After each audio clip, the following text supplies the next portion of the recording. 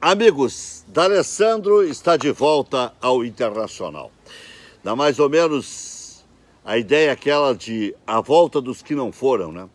Engraçado, D'Alessandro, lá, quando assumiu o Alessandro Barcelos e o presidente Marcelo Medeiros estava passando o bastão, ele disse, em novembro ainda, aqui encerra a minha atividade no Internacional. Encerrava porque o D'Alessandro acabou voltando para o Internacional por ser amigo também do presidente Alessandro Barcelos e porque teria que encerrar a sua atividade no Colorado com público.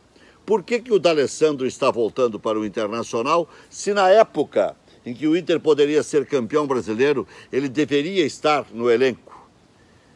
Porque lhe deram a opção de renovar por mais três meses. Não quis, foi aventurar lá no Nacional de Montevidéu e não conseguiu fazer verão.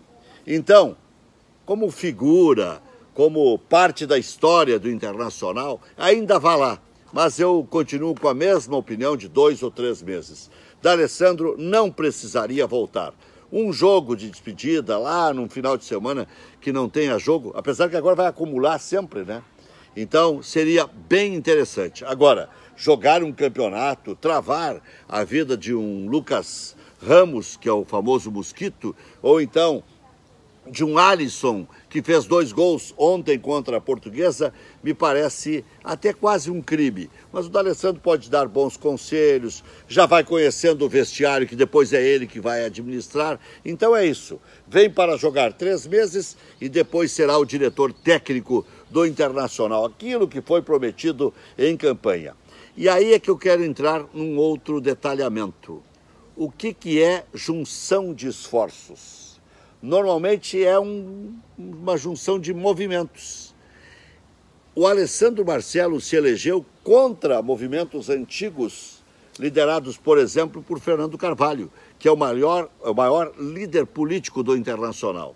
E agora seria um pedido do Fernando Carvalho para ele retornar. Fernando Carvalho estaria de novo tomando as rédeas do Internacional, mas eu não quero entrar muito nessas picuinhas. Tomara que dê certo, tomara que contribua com o Internacional, tomara que ajude a fazer novos talentos como ele, que é um exímio camisa 10, passa bem, chuta de fora da área, sabe fazer gols de faltas, mas acabou.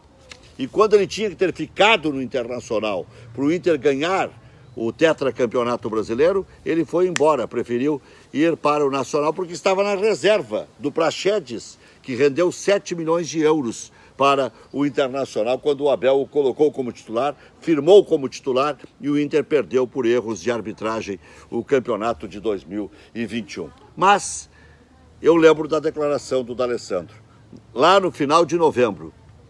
Minha vida no Internacional terminará no dia 31 de dezembro. Conversa para boi dormir.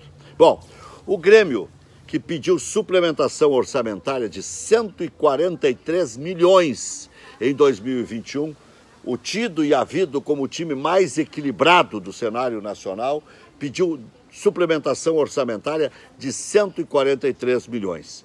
O Grêmio vai ficar com Douglas Costa, com déficit depois de muitos anos? Perguntei ao presidente Romildo Bolzan.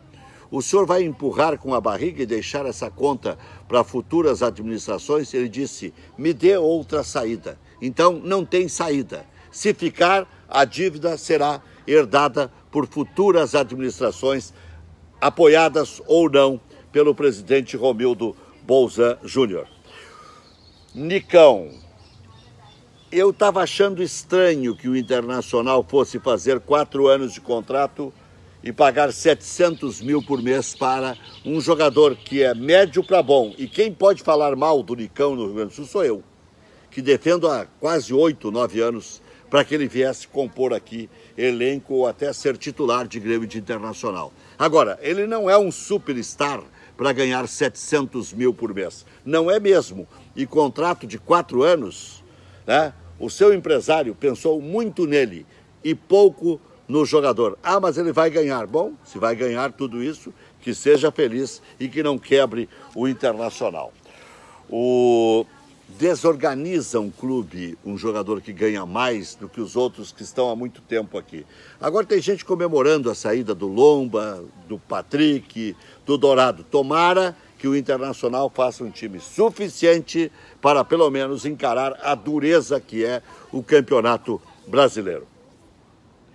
O time que mais pagava na segunda divisão do ano passado, Vasco da Gama, 3 milhões e 200 o senhor Douglas Costa custa meio Vasco da Gama inteiro.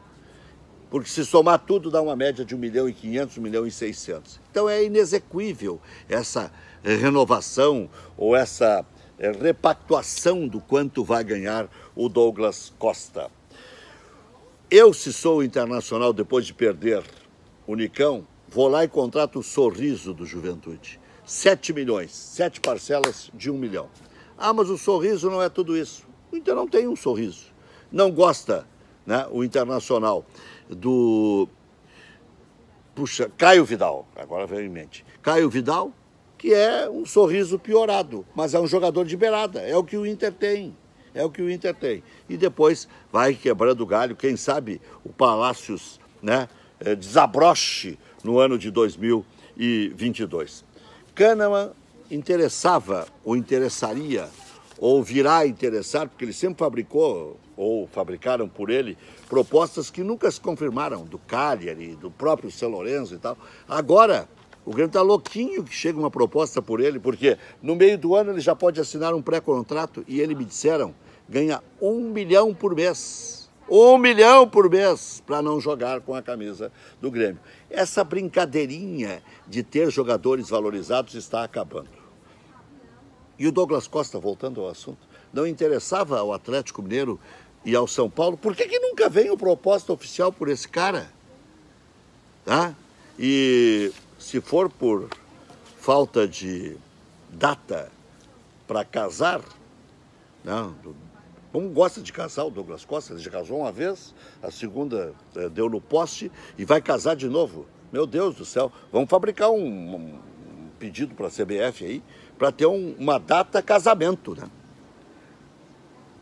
Justamente. E aí batiza essa data casamento de data Douglas Costa.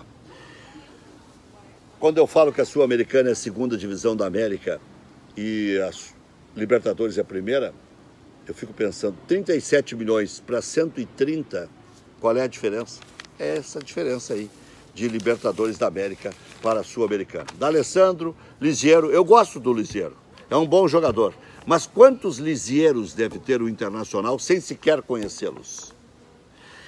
Esta equipe que está lá no Sub-20, os dirigentes, os técnicos, o Gustavo Grossi, me parece que conhece um pouco mais do métier, tanto, tanto que o Inter encordoou, emendou três títulos eh, de Sub-20, a tríplice coroa, campeão gaúcho, campeão da Supercopa, o da Recopa, como queiram, e campeão brasileiro. E já tinha sido campeão, esse mesmo grupo, lá da Taça São Paulo de Futebol Júnior, onde os times gaúchos vão muitíssimo bem. Obrigado. Clima de praia, né? Olha só que maravilha. Embaixo das árvores, nem dá vontade de voltar, mas daqui a pouco eu volto, não vou dizer quando. Ativo, aqui ó, tá sempre perto de mim, ó, que eu não posso perder essa maior atividade sempre, né? Ativo você na Ativa Sempre. 0800 003 1500. Crestane Pneus, nove lojas para melhor servi-los. Dez vezes para pagar. A maior rede de multimarcas do sul do país. Centro Previdenciário, aposentadoria batendo a sua porta, tem novas regras. Procure quem conhece. Tire todas as suas dúvidas. Veja qual é a tabela de transição 9897 89 999. KTO, aposte para brincar, aposte para se divertir, aposte para ganhar. KTO.com. E na senha hash você tem 20% de reaplicação no próximo jogo. Então, vai lá. Dúvidas? KTO Underline Brasil. Masper, assessoria. Dr. Milton Matana, assessorando mais de 80 prefeituras Brasil afora, Ceará, Maranhão, São Paulo e especialmente no nosso glorioso estado do Rio Grande do Sul.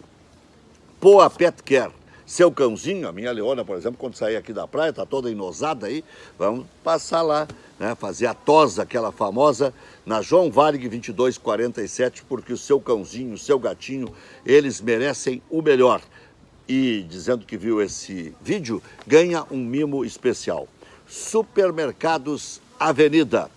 Aqui na praia de Xangri-Lá, na Paraguaçu, em dois endereços, 741, o novo, e 1641, o antigo e tradicional. E nada contra ninguém, mas uma frasezinha para encerrar esse comentário. Não é maledicente, não é provocativa, apenas para refletir. Figura repetida não preenche o álbum. Aquele abraço. Valeu.